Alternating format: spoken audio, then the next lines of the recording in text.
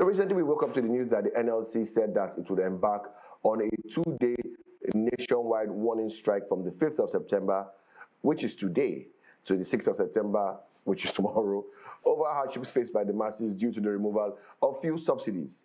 And the reason seems noble enough. Nigerians have faced untold hardships due to the sudden and immediate removal of fuel subsidy without any strategic economic plan to prevent the people from witnessing the strife, or as some would say, the premium shege that we are currently facing.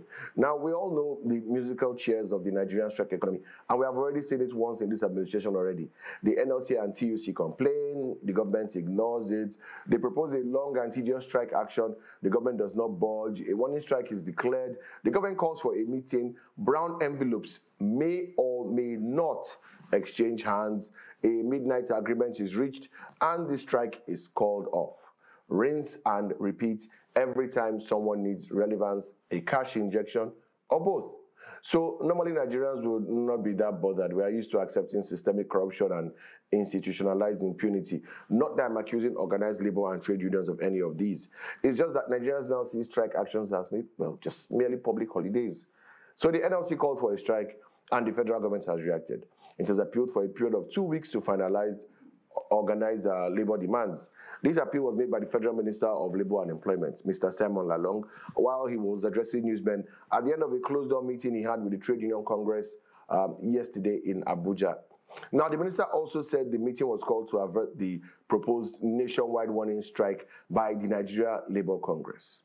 Do you see the first problem? The Federal Ministry of Labour and Employment called for a meeting after the federal government had earlier appealed the NLC to suspend the proposed two-day warning strike nationwide. But the NLC were upset at the meeting called by the minister. The NLC called for a strike, but the TUC attended the meeting. Now, I know they work hand in hand and if they both there would understand the solidarity, but TUC went without NLC? What is really going on? Well, in all fairness, the TUC had released a communique where they said that the need to embark on a strike had not arisen, but that they would allow conversation with the government to address grey areas. And the minister has promised that the government is going to address those issues within a period of two weeks and come back for further discussion. To quote the minister, some of the issues we discussed that are very urgent there are very urgent. Uh, there are some that will require a long span of time. This was the basis of our discussion and the TUC have agreed to this.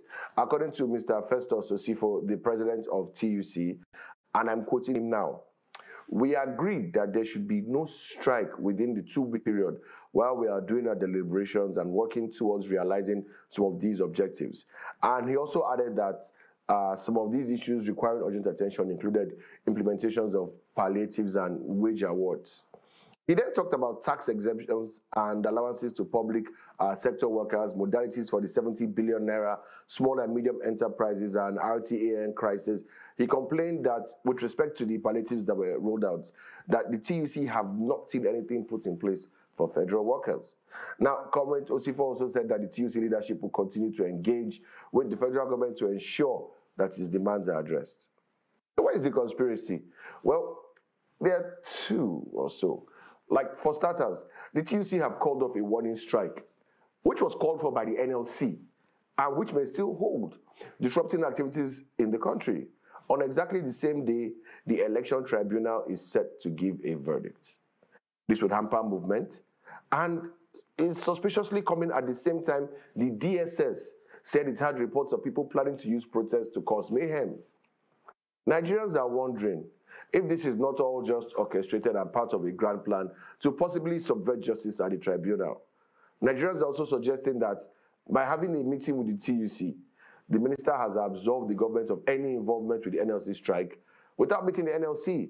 The NLC could go on say it's working independently, though Nigerians, you know, generally, if you look at social media and everywhere, Nigerians feel the strike action is coordinated from inside government. And this is leading to a lot of tension as verdict day approaches. Nigerians believe the government want to hand out an unfavorable verdict and are putting things in place to ensure that there is no public backlash in the form of mass action or protest by the people. Now, are they right? Look, your guess is as good as mine. Me, I'm just a conspiracy theorist, and I'll leave it at that.